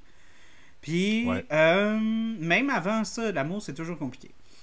Mm-hmm. Puis, ce que j'aimais beaucoup par rapport à, à ce qui passe dans ce film-là, c'était le fait que ce personnage-là se faisait proposer une grande instabilité par rapport à comme son côté professionnel et il se questionne et il a une grande stabilité d'un point de vue émotionnel et il se questionne. Ouais. comme un aspect vraiment comme polarisant là-dessus. Puis c'est, j'avais vu justement un, YouTuber qui, qui, avait exploré ça. Aujourd'hui, maintenant, dans le monde du, du, nouvel âge, de, des applications, puis de l'instantanéité, mhm. l'amour est vraiment différent. C'est vraiment très instantané. Puis tu sais, quand tu regardes les applications comme Tinder, tu as un million de faces dans ton sel à tout bout de champ. En tout temps. puis, puis tu sais, puis ce que le YouTuber, il disait, c'était vraiment drôle ce qu'il disait. Il dit T'as toujours comme cette perspective-là de FOMO, de comme genre, oh, yes, puis l'autre, c'est la prochaine, es-tu mieux, tu sais, si c'est plus fine ou si, tu sais, elle, va plus connecter avec moi, tu sais. Puis c'est vrai, puis dans ce temps-là, il vivait ça. Puis je, trouve que c'est encore mm-hmm. plus euh, relatif à, à ce qui se passe en ce moment. Puis je trouverais vraiment ça intéressant parce que, tu sais, comme, encore là, je suis, je suis assez jeune. Fait que j'ai beaucoup, mm. beaucoup, beaucoup, beaucoup d'amis qui sont pas dans, dans, une relation aussi stable que la mienne. Fait qu'il y a beaucoup mm-hmm. d'échanges d'idées. Euh, sur qu'est-ce que c'est l'amour, qu'est-ce que c'est la vie, qu'est-ce qu'on devrait faire quand on a 23 ans, qu'est-ce qu'on devrait faire quand on devrait avoir 34 ans. Tu sais, mm-hmm. euh, puis, euh, tu sais, j'en connais du monde qui sont dans des relations super sérieuses, qui ont 19 ans, puis je connais du monde qui ont comme 33 ans, puis sont dans la phase comme on continue d'aller voir une personne différente chaque soir. Puis on, a toujours comme ce questionnement par rapport à. J'ai adoré la, ligne qui disait je dis, me semble que ça ferait du bien avoir. Parce qu'il parle d'une période de comme. Ta, période, tu sais, ta, ta, honeymoon phase, comme on dit, là, que, mm-hmm. que tu arrêtes de manger, que quand tu reçois des, des, appels, là, c'est maintenant comme quand tu reçois un texte, la personne, tu sais, ton cœur, il arrête, tu sais. Il dit ouais. T'as toujours, tu sais, cette partie-là, des comme. Il me semble que ce serait le fun d'avoir 3-4 autres de tout ça. Mm. Avant, comme il dit dans le film, The Big Fade. Ouais. Puis, puis, puis j'aime ce que Uma Thurman a dit. Elle dit c'est une, c'est quelque chose de vraiment noir que tu représentes, tu sais, comme The Big Fade. C'est tellement dark, là, tu sais, comme vision de comme l'amour éternel, tu sais, quasiment. Tu sais, la, stabilité, tu sais. Euh, elle parlait justement de, de, de, de, d'être confortable avec quelqu'un, euh, mm-hmm. De, se faire donner des drinks dégueulasses, euh, de lire le journal le matin, dimanche. C'est, c'est toutes des ben, choses qui sont toutes attirantes d'une façon ou d'une autre. Ouais, ben c'est des nuances que, tu sais, il y, en a qui sont prêtes à le laisser aller, il y en a qui sont pas prêtes à le laisser aller, il y en a qui vivent leur relation puis qui aiment ça euh, continuer à avoir cette espèce de. Juste avant que le fade arrive. Il y en a qui disent ben moi je sais que ça dure un mois, puis au bout d'un mois, j'ai le fade arrive, puis je veux pas vivre ça. Mais à un moment donné, tu as la réalité de savoir avec la personne avec qui que justement tu le laisses pas fader. Il faut, faut, que tu le travailles. Mais n'importe quelle relation, faut que tu la travailles. Puis si tu as des remises en question sur toi-même, ben c'est sûr qu'il faut que tu fasses ce chemin-là avant parce que avant de te lancer dans une relation avec quelqu'un qui a du travail à faire. Ça dépend de quoi tu veux dans la vie aussi. Là. Tu, peux décider que tu veux juste. C'est ça qui est différent. C'est pour ça que je dis c'est bien des clichés dans ce film-là. C'est comme si tu écoutes ce film-là, puis c'est le cliché typique que ton but, entre guillemets, dans ta vie, ce serait d'avoir euh, la personne avec qui tu veux passer le restant de tes jours, puis avoir la maison euh, avec le white picket fence, puis le chien, les enfants, puis la job idéale, puis que tout est beau. Fait que ça, c'est comme l'idée que tu fait au départ. Mais c'est sûr qu'à cette heure, on connaît plus de, nuances que ça. Puis c'est pas c'est pas rejeté si tu décides d'être juste. Tu sais, tu peux être célibataire toute ta vie, puis c'est ça que tu veux, puis t'es vraiment bien là-dedans aussi. Mm-hmm. Mm-hmm. Je suis content un peu que ce film-là soit sorti autant qu'il est sorti, parce qu'avec ces nuances-là, euh, ça aurait été un peu plus complexe à tout expliquer. Mais en tomber dans les clichés, je pense que ça nous amène à faire des belles euh, rétro rétrospectives, rétroactions, rétro euh, blablabla internes euh, à nous. Bref, un retour intérieur sur, sur nous-mêmes, une réflexion sur nous-mêmes par rapport à, tout ça. Là. où tu te situes là-dedans. Ouais, puis moi je trouvais parce que puis tu sais avec le recul, tu, tu arrêtes pas de te, te dire comme ben voyons, ce gars-là il a une hmm. belle femme, une femme qui a du succès. Parce qu'il est très vague. Il est très vague sur ah sa femme. Ben, sur sa, fiancée. Il est extrêmement vague. Ça a l'air de vraiment. Je peux pas dire mal aller. Mais quand il, arrive dans la ville, il est tellement détruit intérieurement, je trouve, qu'il est tellement tout croche qu'il a la plus belle relation qu'il peut pas avoir il voit même pas comme une belle chose quasiment. Il voit ça comme quasiment comme un.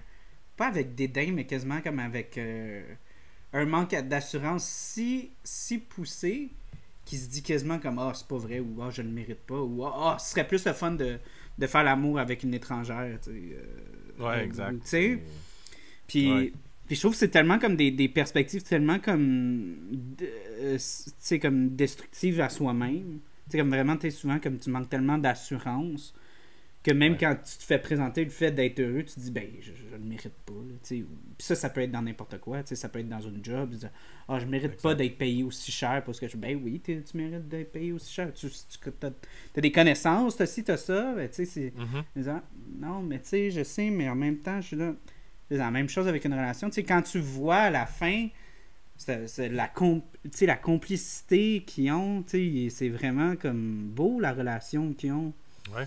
Puis tu vois qu'elle est là pour lui, tu vois qu'elle l'écoute, tu vois qu'elle veut apprendre, qu'elle veut jaser avec ses amis, qu'elle veut les découvrir. Puis lui est comme arrivé avant, puis il a comme dit des, des, des, choses que peut-être, tu sais, il va, pas regretter parce qu'il disait à ses chums, mais que tu fais comme, oh, ok, ouais, euh, pourtant, euh, c'est ça. C'est pour ça que c'est le fun d'avoir arrivé out of the blue, un moment donné, puis t'es juste comme, oh, ok, c'est elle. C'est ça. C'était ça. C'était ça le. Ah ouais, tu sais, ça va correct. Ah, mets-tu la pression? c'est c'est ça qui est le fun. C'est le fun qui a été joué sur ce côté-là aussi, là, pour voir où le personnage il s'en va, où le personnage, comment le personnage se, se développe. sais même si dans sa famille, il le voit aller, puis sont comme t'es bien épais, t'es bien ci, t'es bien ça. Fait que c'est pour ça que c'est le fun de voir sa famille qui le trouve tweet de faire ce qu'il fait. D'un autre côté, t'as ses, ses chums qui sont comme ben écoute, tu sais, un chum, c'est là pour être là pour toi. Il mhm. t'écoute, il t'écoute, il t'écoute, il t'écoute, puis son, son point de vue va être celui que tu, tu veux entendre. que tu veux entendre, tu sais, ou celui qui va t'écouter, puis il y, en a, il y en a toujours un qui va dire celui que tu veux pas entendre, puis celui-là, c'est celui qui va commencer à te faire réfléchir, tu sais. Comme, ah, je pensais que tout le monde était comme moi. Tout le monde pensait comme moi. Non, tes chums, ils t'ont tout écouté. Ils t'ont tout dit ce que tu voulais entendre parce qu'ils veulent voir si justement, quand tu entends ce que tu veux entendre, est-ce que tu vas plus loin? Ou est-ce que tu retournes dans cette espèce d'inconfort là parce que des fois même si tu l'entends ce que tu veux entendre ça fait ça te, fait pas avancer hmm. puis je trouve que ce que tu dis c'est tellement c'est tellement important d'un point de vue tu tu regardes les, les événements du film où est-ce que mhm. tu as quatre gars qui sans aucune question sont prêts à aller péter à gueule à quelqu'un ouais juste pour parce que c'est leur ami. Tu sais, il n'y a pas, tu sais, comme, euh, euh, tu sais, Willy, il y, a juste comme sa ligne de comme, me semble c'est pas super éthique, là. Qu'est-ce qui se passe, tu sais? Puis c'est comme, on s'en crisse. Tu sais, il y a peut-être ailleurs, on y va, là. Tu sais, puis il y a, y, a, y a une espèce de beauté à ça, de comme, tu sais, comme ces gars-là, tu sais, ton chum, tu l'aimes tellement c'est un amour qui, qui voit qui voit qui voit rien c'est juste comme il n'y a pas de questionnement. C'est on le fait puis on le protège puis c'est tout c'est notre chum peu importe ce mm-hmm. qu'il fait on saute euh, on saute par dessus bord pour lui exact. Puis c'est correct d'avoir cette amitié là mais c'est pour ça c'est le fun d'en avoir un qui fait comme ah ouais t'es sûr? Mais tu vois même lui il y a comme une affaire de comme il y a même une position de comme mon amour pour mon chum va passer par-dessus mon, mon propre jugement éthique. Ouais, exact. comme je sais que je fais pas la bonne affaire, tu sais, si quelqu'un voit ça de l'extérieur, va dire t'es bien un trou de cul d'aller péter à gueule un père de famille qui, qui essaye juste de sauver son mariage. Mais non, je passe au-dessus de ça. Tu sais? Ouais, non, c'est des. C'est des... C'est des belles réflexions, justement, ce film-là. Même, même l'autre, euh, leur chum aussi, qui a un, qui a des enfants, lui est marié, a des enfants. Fait que tu mm. vraiment toutes les situations qui sont là, là tu sais, puis je trouve que les acteurs ont été super bien choisis. Je l'aime beaucoup, le gars qui, qui, est comme le, le, gérant de, voyons, euh, la, la non, la, la, plante textile. Euh, euh, ben, justement, le père avec des enfants, là. Ouais, ben lui, lui c'est le genre d'acteur, justement, qu'on... Michael qui s'appelle dedans le, le, show. Puis lui, c'est le genre d'acteur qu'on voit dans plein de trucs puis qui il sort pas du lot. C'est ça, mais là-dedans, il ressortait bien, je trouvais. Ouais, c'est ça. Mais tu sais, il a été dans il été dans Americans, dans Truman Show, dans Walking Dead, euh, dans, tellement d'affaires cet acteur-là que de le voir avoir un beau rôle comme ça, justement, moi j'ai moi j'ai bien aimé ça. Puis tu sais, encore là, ce personnage-là, il, il est présenté comme étant pas le gars le plus smart mais c'est un gars de cœur. Exact. Tu sais, c'est un gars qui ferait n'importe quoi. Tu sais, comme c'est un gars qui, qui, qui, a donné le livre tout de suite à Willy quand il est arrivé. Il n'y a pas de mm-hmm. question. Hey, si t'as besoin de quelque chose, tu m'appelles. Tu sais, c'est comme il n'y a aucune question là, qui est posée. Là, tu sais. Puis, euh, tu sais, il rentre là. Hey, quand il pogne le père de famille, là, le speech, il, il, rentre dans ses mots. Là, il y a des affaires, ça, il dit ça fait aucun sens. Là. J'ai trouvé ça drôle de voir ça. ses idées, ils ne matchent même plus dans sa tête. Là. Ouais, ça marche plus. Là. Oh, ses, euh, phrases pour intimider, ils ne matchent même pas. Là, mais il est juste trop dedans. Là. Mais encore là, de voir la petite fille, ça il a juste fait comme ça, ça, a brisé quelque chose en lui. exact, parce que lui, il, est parent, tu sais, fait que c'est ça qui... Je trouve que c'est tout, c'est des belles nuances. En tout cas, c'est un, un, beau film à avoir des, des, belles réflexions dessus. Puis j'espère que les gens qui, qui, nous écoutent, qui l'ont écouté, ont eu des réflexions de même, ou sinon, s'ils n'en ont pas eu, puis sont curieux de voir qu'est-ce qu'on dit là-dessus, ben j'espère qu'ils vont le réécouter, puis ils vont voir ces nuances-là. ouais. Moi, j'aimerais ça parler de Nathalie Portman dans ce film-là. Parce que c'était une performance Incroyable. C'est un rôle, euh, c'est un rôle parfait. Tu sais, Nathalie Portman elle a fait ça, puis elle a fait le professionnel, puis on a entendu beaucoup parler de Léon, le professionnel, mais pas assez de cette performance-là qu'elle a hmm. faite là-dedans. Euh, une, vieille homme, une vieille homme très convaincante. Ouais, exact. Tu sais, vraiment, euh, elle, elle, a pas l'air de quelqu'un qui lit un script là, quand elle dit ça. non, non, tu, crois, tu, crois que c'est elle. tu crois qu'ils ont juste pris. Tout le monde acte. Ils ont juste fait comme Hey, man, il y a vraiment une fille qui habite à côté ici, puis c'est elle. On, va juste la filmer parce que. ouais, mais tu sais, tu vois, même là, comme on parlait justement de l'aspect comme Ah, c'est un peu euh, c'est un peu creep. Mm-hmm. avant ça, comme étant la chose la plus la plus saine qu'il n'y a pas, quasiment, la, relation qu'elle a avec Willy. Tu veux quasiment qu'il crisse sa blonde là pour qu'il parte avec là, au coucher du soleil. C'est super bien monté. Ah oui, les, les, les, lignes sont parfaites, euh, la musique, les temps, sa, sa, voix est bien posée, tout est super bien fait justement pour que jamais que tu sentes une touche de, de, de, de mesquinité nulle part, autant lui envers elle, elle qui non, c'est super bien fait. C'est quasiment comme si tu entendais un petit violon quand es, ou les oiseaux qui chantent quand tu vois les deux ensemble. non, c'est vrai qu'il y a une super belle euh, une belle relation entre les deux. Ils ont dû justement avoir du fun hors plateau à juste jaser justement de de, de, ce contexte-là dans lequel il était et dans lequel il filmait. Là. Mm-hmm. Mais c'est. Tu sais, je serais bien curieux d'entendre aujourd'hui ces acteurs-là parler de, de ce film-là parce que oui, comme tu disais, il n'y a pas grand-chose euh, euh, au début quand on n'enregistrait pas, tu disais il n'y a pas grand-chose ce film-là en plus euh, qui paraît dans le monde à gauche et à droite. J'ai regardé, ok, j'ai pas fait des recherches comme hyper poussées, mais il n'y avait rien qui ressortait. Il n'y avait pas de trucs qui popaient là, qui ressortent. Tu sais, même pas de gens même pas de YouTubers qui ont fait de, de, de, de critiques sur ce film-là. Personne qui en parle vraiment beaucoup. C'est euh, plus comme. Euh, ah, puis justement, comme on parlait de Nathalie Portman, la chose qui ressortait plus quand je faisais mes recherches sur YouTube, de la fin de main, c'est surtout la, la, la, euh, la scène au, au à, la patinoire qui ressort beaucoup. Puis je trouvais même ça, c'était comme une, Encore là, tu sais, on parlait de. Tu du fait que peut-être que, que, que, que, Willy, il, projette encore là, tu sais, comme l'aspect de. comme qui veut juste exposer l'aspect qu'elle est juste comme, tu sais, jeune et naïve.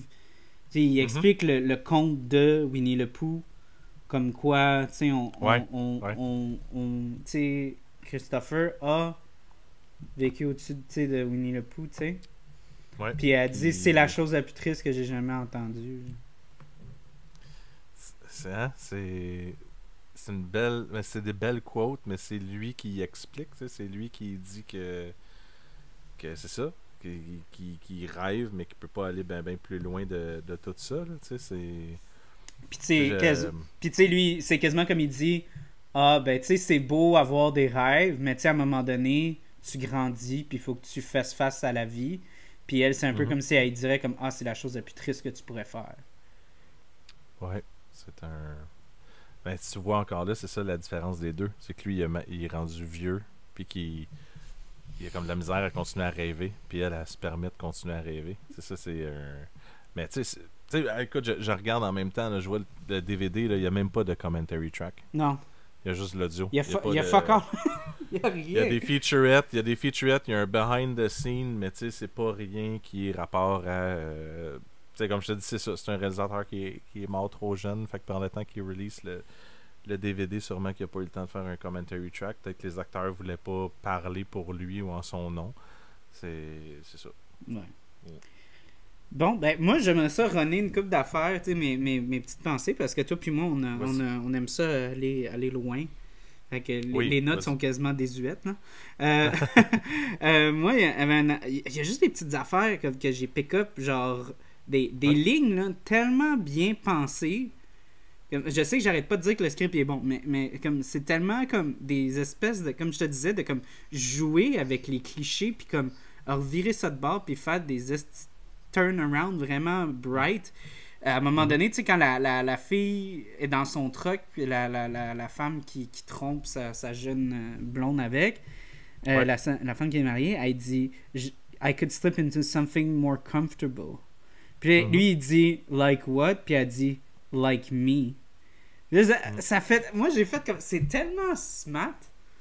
Hmm. C'est tellement comme pervers. Puis, comme, puis ça, encore, tu t'as toujours le cliché de comme, oh, on devrait se mettre plus confortable. Non, non.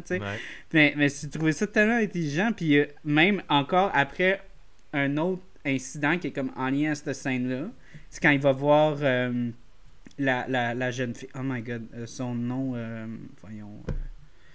Mira Sorvino.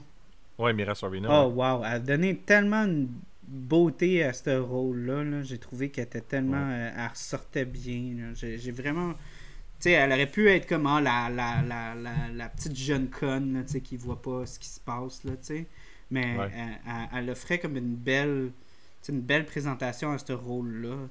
Quelque chose qui est plus que juste comme Ah, je suis le stéréotype de la fille qui reste avec le gars qui m'aime pas. tu mm-hmm. Puis même là, quand lui il arrive pour venir la voir, il a réalisé que c'était vraiment c'est pas ça qu'il aurait dû faire.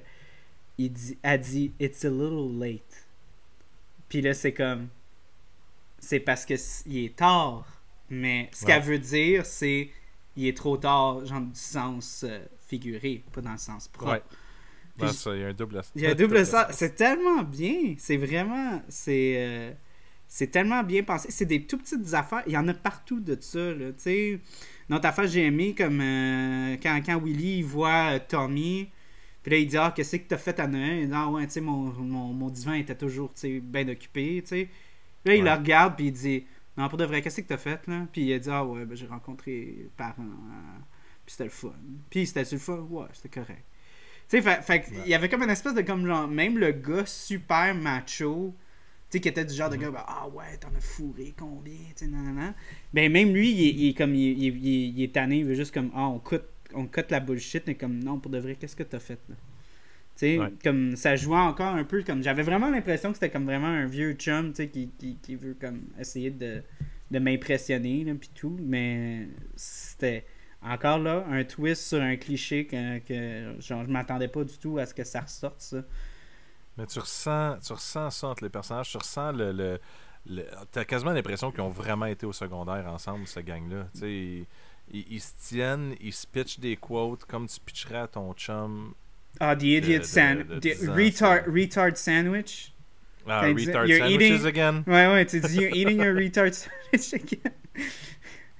Euh, ah, voyons, c'était pas ça. Euh, il y avait quelque chose que je voulais dire par rapport à ça, parce que tu, tu parlais justement de, de voyons, euh, les, La complicité, justement. Ouais, la complicité. Euh, les acteurs, euh, le, réalisateur, il a voulu qu'ils passent du temps ensemble.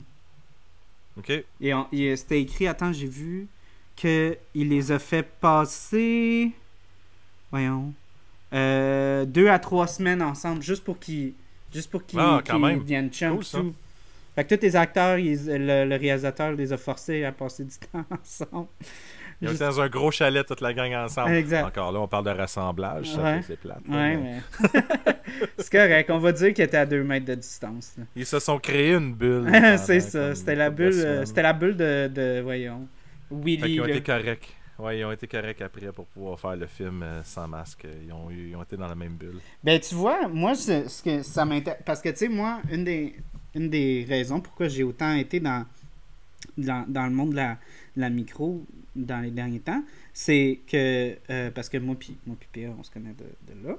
Euh, c'est parce que moi, j'étudie en cinéma, puis avec la pandémie, il n'y avait rien, là. Ouais. Puis là, je me suis intéressé, tu sais, je commençais à parler avec des amis autour, puis c'est vraiment intéressant les solutions qui sont en train de se produire là, dans le monde, parce que tu sais, je veux pas à un moment donné, il faut que le monde travaille. Puis ben j'entendais parler que maintenant, euh, c'est rendu que c'est les couples d'acteurs euh, font des scènes ensemble, des choses comme ça, tu sais, euh, tout le monde porte un masque sur le set, mais les, si, si jamais ils apprennent qu'un acteur a un coloc qui est aussi comme un acteur, ben là, ils vont faire une scène ensemble, puis tout. Ils sont en train de mhm. construire des, des, scènes là-dessus.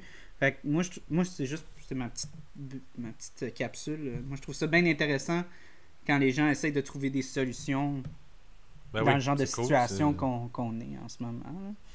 C'est une super bonne idée. Hein. C'est. Euh, ben, j'aime ça, tu sais. Puis on les voit les séries. Puis en fait, en fait euh, ça qui est weird. Il y a, il y a des. Tu sais, les, les choix tu sais, des, des séries qui sont euh, journalières, comme des trucs comme genre District 31, il aurait pu prendre la voie de dire ben on va montrer le, le Québec de tous les jours, puis on, ils vont commencer à porter des masques, ils vont faire la job comme, comme les policiers font, des trucs comme ça. Mais j'aime qu'il ait qui n'ait pas fait ça, qui ait continué comme s'il n'y en avait pas, mais je sais que hors plateau, justement, ils mettent des masques, puis quand il vient le temps de faire enregistrer, puis ils enregistrent, puis euh, je sais pas si les gens ont remarqué, mais peu importe les émissions qui jouent euh, maintenant en temps de, pandémie, ils ont souvent des, plans de vue plus euh, des single shots.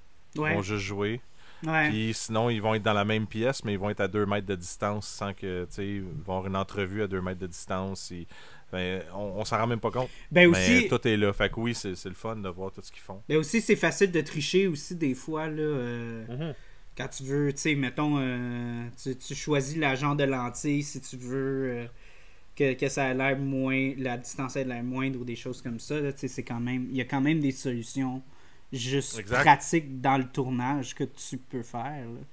C'est, le fun de voir qu'ils utilisent tout ça, qu'ils ont pensé à tout ce deuxième degré-là, puis qu'ils ont ils n'ont pas juste fait comme, bon, ben, fuck off, on continue à faire comme si de rien n'était. Mm-hmm. Mais non, c'est. Non, j'aime ça. Fait que, ouais, de voir un film qui est aussi euh, rassembleur parmi ces temps de. Ces temps de pandémie, c'est. Euh, c'est un, ben un, petit, un petit baume là, sur, euh, sur des relations, sur, sur des rassemblements. Ben, c'est ça. Ben, c'est ça que j'allais dire, parce que, c'est un film qui est très qui est très social. Tu sais, comme tu parles de. Il y a beaucoup de rassemblements, tu sais, il y a beaucoup. C'est beaucoup comme une, c'est très interrelationnel, mais c'est beaucoup un film aussi qui deal beaucoup avec l'intériorité aussi. Ben, c'est ça, ça explore comme pas juste comme le fait de comme ah nos relations avec nos proches, ceux qu'on aime, nos amis. C'est aussi comme ah comment est-ce qu'on se traite nous-mêmes? Comme euh, comment est-ce qu'on voit les autres, tu sais comme euh, comme tu as parlé justement de du gros speech qu'elle a fait là, de, de que, comment que les hommes voient les femmes, comment les femmes voient les hommes, comment tu vois tes chums, comment tu vois ta blonde, c'est est-ce que tu prends certaines choses pour acquis, des, des affaires comme ça. Les, les hommes dans ce film-là prennent beaucoup les femmes pour acquis. Puis c'est quelque chose que, que j'ai noté, c'est par rapport au titre, ce que j'aime beaucoup du titre euh, Beautiful Girls, c'est que mm-hmm. les femmes sont les plus beaux personnages dans ce film-là. C'est ceux qui sont les plus belles, qui sont euh, d'un point de vue extérieur, intérieur. C'est ceux qui sont le plus allumés, les plus débrouillardes, les plus responsables, ceux qui ont une bien meilleure intuition. C'est toujours, toujours ceux qui, qui, qui ont pas de l'air des connes dans la scène. Exact. Les gars, ils ont de l'air souvent des cons. Ils ont de l'air des estis de Tu regardes ce film-là, tu te dis, ben voyons comment est-ce que ces femmes-là peuvent endurer des hommes de même? Mais en même temps, les femmes, ils ont une belle intériorité parce qu'ils voient au-dessus des failles de ces hommes-là, de faire comme. Nous, on est assez intelligentes pour voir que ils, sont plus que ça, tandis que les hommes dans ce film-là sont, sont pas encore capables de voir que les, leurs, leurs blondes, leurs amis aussi, sont plus que juste une paire de totons puis une paire de, fesses, tu sais. Exact. Il y a des. Ben, c'est ça qui est le fun, c'est qu'ils sont pas eux sont pas les beautiful girls que eux ils rêvassent à, mais c'est eux qui sont quand même plus intelligentes, plus allumées que, que justement cette gang-là de, de tweet. ben non, c'est cool que tu l'aies vu et que tu as remarqué ça aussi. C'est euh, Tu sais, il y a bien des nuances des fois dans un film que toi tu trouves, tu es comme, ah, ben, je voudrais pas tout dire des fois. Comme, ah, tu sais pas comment que les gens le voient, mais, mais c'est ça qui est le fun. C'est qu'il y a des ça peut être un film un peu plus bonbon, facile à comprendre, facile à voir, mais je trouve que c'est un film qui, qui, est comme les relations qu'ils ont. C'est un film qui est, un film qui est attachant. C'est un film qui est, qui est, le fun à. Je trouve qu'il est le fun à entendre. Puis je vais dire entendre parce que justement, comme je te disais tantôt, je l'ai je l'ai écouté pendant que je travaillais. Fait hmm. je trouve le fun à entendre. Je trouve que son rythme est bien. Euh, ah ouais. Il est tight. Les, les, ouais, c'est tight. C'est pas un film qui Autant quand il y a une chanson qui joue, quand il y a des séquences qui finissent, quand il y a les gens. Toutes les lignes sont super bien faites, puis il est super bien rythmé, ce film-là. C'est. Euh, un, un, truc que j'ai trouvé justement, comme que tu, tu rajoutes c'est la, la, construction de ce film-là. Encore là, comme mm-hmm. l'écriture. C'est un film qui est vraiment tête. Puis tu sais, comme encore là, moi je suis rentré là-dedans, puis j'étais comme, ah, ça va être un film sur, tu sais, comme une petite ville, ça va être ça va être plate, ça va être long. Mais tu regardes ça, puis c'est tellement euh, engageant ce qui se passe. C'est. Les, les conflits sont présentés, puis en même temps, ils prennent pas les, les, téléspectateurs pour des cons. sais tu rentres dans la, dans la situation, tu vois juste un gars assis sur un piano qui, qui donne une collade, puis même là, tu c'est ça que j'ai remarqué, la musique est tellement forte dans la première scène, tu comprends même pas ce qu'il dit au boss du bar ou au gars. Euh, tu peux juste voir comme Ah, ok, il a pris tout son, son type de la soirée, puis là, il sort sa grosse liasse de billets. Tu t'attends à ce que ce soit comme Ah, si, il est plein aux as. Ben non, il fait juste compter les 1 bill. Imagine-toi payer un billet de boss de 48$ avec des 1 pièce. Ouais. Tu sais, euh, c'est ça, là. Fait tu sais, c'est toutes sortes de petits trucs comme vraiment bien exécutés qui te font penser comme aïe, le, le, gars qui a écrit ça, il a vraiment pris beaucoup de temps à construire justement des personnages comme super riches, puis en même mhm. temps de pas traiter les téléspectateurs comme comme des cons, tu sais comme genre vraiment comme leur, leur, jammer ça dans dans la gorge de comme ah ouais, tu sais c'est c'est le jock mais c'est un bon gars, tu sais c'est comme non non, il faut vraiment que tu te fies à ton jugement pour voir ça, tu sais. Mais un bon gars peut être un gars con aussi. Ah, oui, oui. c'est ça. C'est... Ouais, j'aime bien ça. C'est un bon film.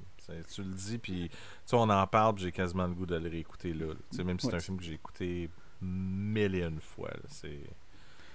Mais euh, t'as-tu des, peut-être des petites euh, dernières pensées? Je pense qu'on pourrait clore ça.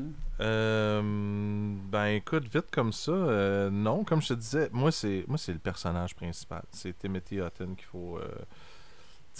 il faut, faut, le regarder lui. Il faut voir, faut voir le, le, film à travers ses yeux à lui, puis voir comment toutes les autres ils s'agencent alentour. C'est un, je pense que c'est un film pour faire une belle rétrospection sur soi-même, peu importe où on est rendu dans la vie.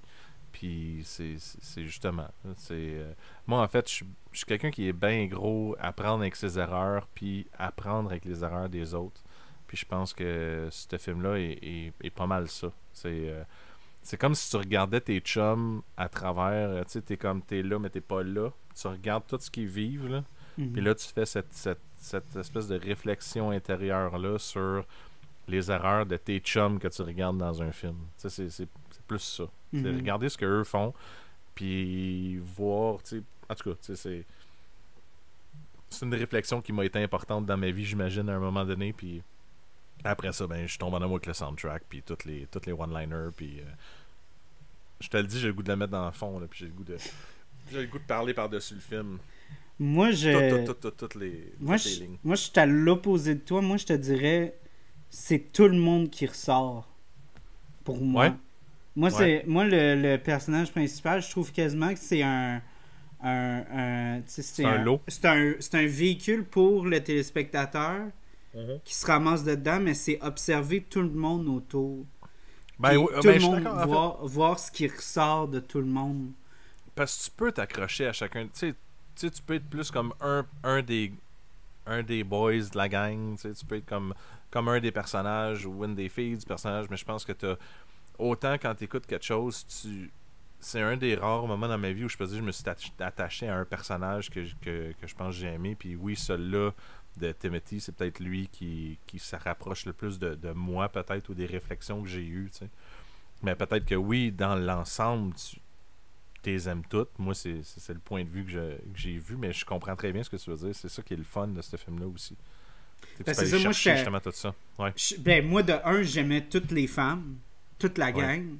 Ouais. j'aimais ces filles-là, là, tu sais. Euh, comme j'ai dit, j'ai ressorti avec euh, Nathalie Portman, tellement une belle, tu sais, jeune femme, tu sais, tellement des belles perspectives, puis tu sais, l'aspect comme vraiment innocent, puis tout ça, mais en même temps ayant comme... Ils sont fortes. Vraiment, comme, mais aussi comme une perspective très, très large, puis très, très, tu sais, qu'elle se réfère à elle comme étant une vieille âme. Puis tout mm-hmm. ça, on voit ça, encore là, Uma Thurman, dans ce film-là, elle, elle, offre tout à ces mm-hmm. hommes-là, elle leur offre tout quelque chose pour les aider, puis elle, elle, demande rien en retour, tu sais. Puis même si elle sait qu'ils veulent tout se ramasser dans ces culottes, là, elle, dit Moi, je suis au-dessus de ça. Puis je vais les aider, ces gars-là. Puis, tu sais, même encore là, on parlait aussi de l'autre femme qui a eu son gros speech. Qu'est-ce qu'elle a, qu'est-ce qu'elle a à foutre de leur dire ça? Elle veut juste les aider, tu sais. C'est ça. Ah elle veut être rough. Elle veut être rough avec, parce que un peu, tu sais, c'est dans son caractère d'être rough. Elle est rough avec tout le monde. Mais elle n'a pas besoin de les aider, mais elle, elle, sent le, besoin de les aider. Puis tu sais, même là, la... Puis l'autre fille aussi, la, la, la... Voyons, la Mira, elle... Euh, mm-hmm. euh, elle se fait tromper puis tout, mais elle veut quand même être là pour, euh, pour Tommy. Elle veut l'aider puis tout ça. Puis elle sait que ce qu'elle fait, c'est stupide. elle dit, elle dit Je sais que c'est calme, mais je veux vraiment faire ça pour lui puis tout ça. Exact. vraiment une belle attention, des belles femmes. Puis tu sais, encore là, tout, comme, comme on a dit, tous les, les hommes aussi sont tous. Ils ont tous des problèmes, mais ils ont tous comme une belle beauté à mhm. chacun d'eux. C'est juste que eux, c'est un petit peu plus loin. Il faut aller chercher un peu. Là. Faut aller, euh, faut aller dig un peu. Là. Mais ouais. Ouais. non, c'est ça. Fait que pour ça, moi, je te dirais que moi, j'ai moins passé à travers Willy. Moi, je voyais plus comme Willy m'ouvrait les portes à tout le monde. Oui, oh, oui. Non, mais je, je, je comprends. Puis j'aime ça, ce point de vue-là aussi. C'est. Mais moi, c'est ça. Moi, j'ai moi j'ai toujours vécu ma vie de même aussi. Euh, en fait, de, toujours, toujours, toujours. J'ai été le gars qui qui vit ses expériences, mais qui apprend de toutes celles qu'il y a alentour de lui. Fait que tous mes chums qui vivent des choses négatives ou positives, j'apprenais de ça. Fait que c'est pour ça que je te dis, j'ai, vraiment surfé étant ce personnage-là qui apprenait de ses chums à travers ça. Mais oui, c'est une image globale que tu fais, c'est, parfait, mais oui, c'est, ça. C'est un beau petit film, j'aime bien ça. On recommande, on recommande. J'ai été surpris, j'ai été surpris. je suis content. je suis vraiment, vraiment content. Peut-être que la prochaine fois, on va faire euh, Chasing Amy. Ah, avec plaisir. Tu me le dis, on va faire ah. Chasing Amy, puis... Euh, ah ouais. en, plus, tu sais, peux-tu croire, c'est la première fois que je regarde un film de Kevin Smith? ça fait longtemps que je regardais un film de Kevin Smith, puis je prenais jamais le temps. Puis j'en entendais toujours parler, je me disais, hey, tu sais... Euh, genre, c'est le genre de, c'est le genre de, de réalisateur, tu sais, scénariste que tu mhm. veux voir, tu sais, comme du Edgar Wright ou des affaires de même, tu sais, c'est le genre de gars que tu veux regarder ces films. -là. Puis, ouais, les performances des acteurs, tu sais, en fait, là-dedans, même euh, euh, Joey Lauren Adams, elle a été nominée comme actrice de soutien dans ce film-là aux Oscars euh, l'année que le film est sorti. Fait que, tu sais, il y, a quelque chose en arrière de ce film-là. Il y, y, a une puissance aussi. Fait que oui, ça va me faire plaisir d'en jaser avec toi. Bon, ben, on va clore ça. Ben, merci à PA encore d'être venu. Je suis vraiment, vraiment content que tu sois venu. Merci de l'invitation. Fait que, euh, pour ceux qui sont vivent en dessous d'une roche, euh, PA, il y a un podcast qui, qui lâche pas, qui roule, qui, qui marche. Puis c'est super le fun, son podcast. Ça, s'appelle le. Merci. En fait, le IPA podcast, parce que tu avais un podcast avant qui s'appelait Le Biageux avec toi puis plusieurs personnes.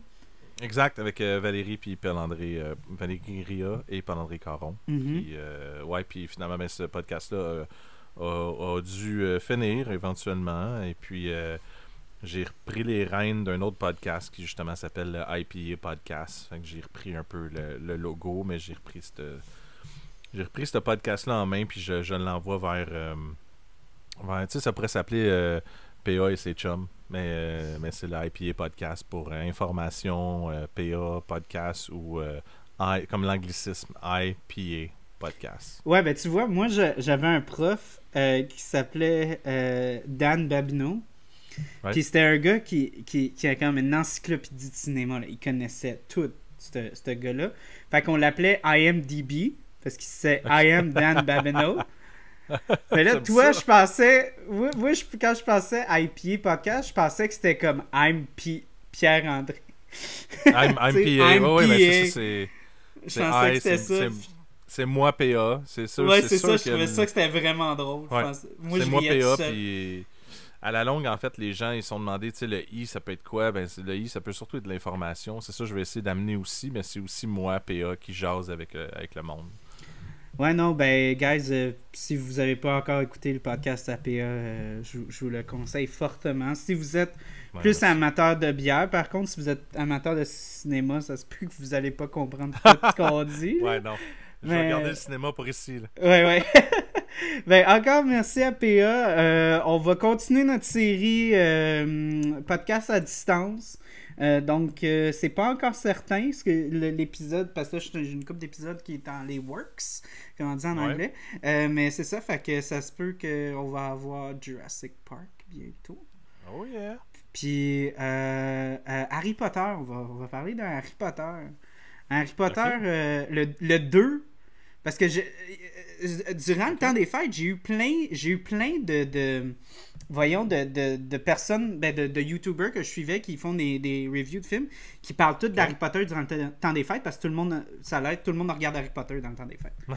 Puis, ben oui, je connais beaucoup de monde qui l'ont écouté pendant le temps des fêtes. puis, puis tout le monde déteste le 2.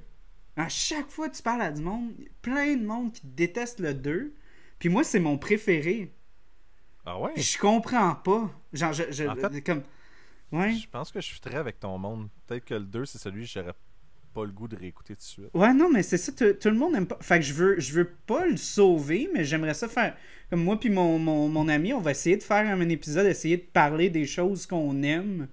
Parce que j'ai tellement entendu du monde blaster. Comme c'est pas un film parfait, ça, je suis 100%, 100% d'accord avec ça. Mais tu sais, il y a vraiment comme une place dans mon cœur. Moi, je me souviens quand j'étais jeune, le 2, c'était mon préféré. Puis ah mon ami aussi a dit Moi aussi, j'adorais le 2. Mais ouais, non, on est, on est pas mal tout seul dans cette. dans ben, cette gang. C'est pour, ça que tu l'as invité lui pour en parler. Hein. Ouais, exactement, pas, pas les autres. moi, c'est le 4. Moi, c'est le 4 qui est mon top. Ah, mais ça, ça c'est plein de monde. C'est le 4, c'est leur préféré. Ouais, ça, je pense. ouais. Donc, euh, bye PA, merci encore. on, espère, on espère te revoir bientôt. Ben oui, merci beaucoup pour l'invitation encore une fois. Ok, ciao ciao tout le monde, bye bye. Ciao.